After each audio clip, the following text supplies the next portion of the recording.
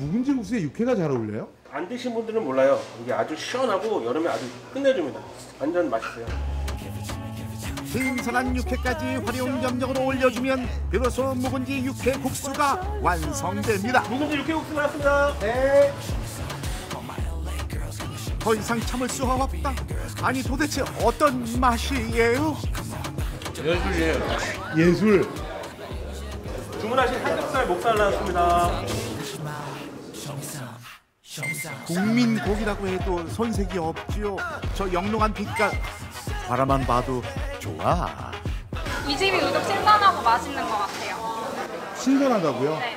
고기가요 어, 색깔이나 이 육즙을 품고 있는 정도가 완전히 달라요. 자를 때부터 이제 살, 살코기에 이제 탄력이 되죠. 어, 자를 때도 없대요. 그리고 다른 고깃집보다는 고기의 육즙이 더 많은 편이에요. 맛있는 음식 앞에선 순서 따위는 없지요. 일단 나부터 먹고 보자.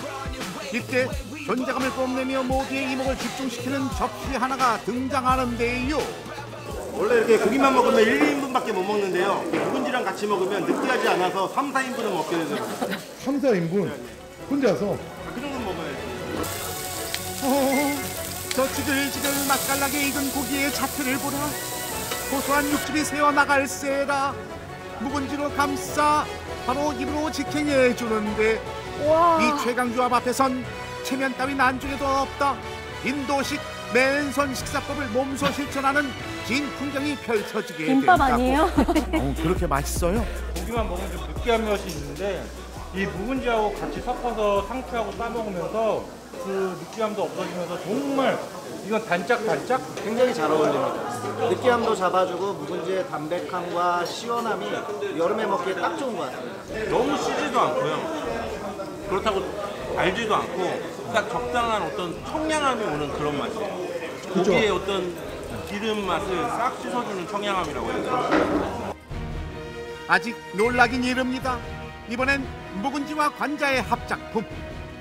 홍어 삼합의 아성을 깨뜨릴 이름하여 묵은지 관자 삼합 되겠습니다. 어우, 이 묵은지 정말 물건이네. 물건이야. 저희는 3년 된 묵은지를 사용하고 있는데요. 저희 묵은지에서 가장 중요한 거는 숙성입니다. 숙성이요? 네, 저희가 특별히 특허까지 받아서 숙성을 하고 있어요.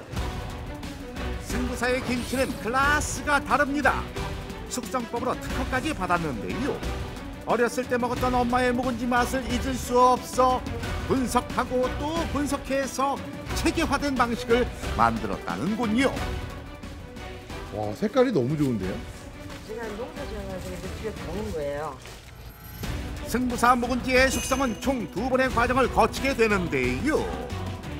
1년차 숙성 때에는 식감으로 맛의 기초를 다지는데 이때 꼭 넣어줘야 하는 재료가 있답니다. 청각이요. 청각이요? 청각을 넣으면 김치에서 시원한 맛이 나고 그다음 아삭아삭해지면서 숙성이 더 잘 돼요.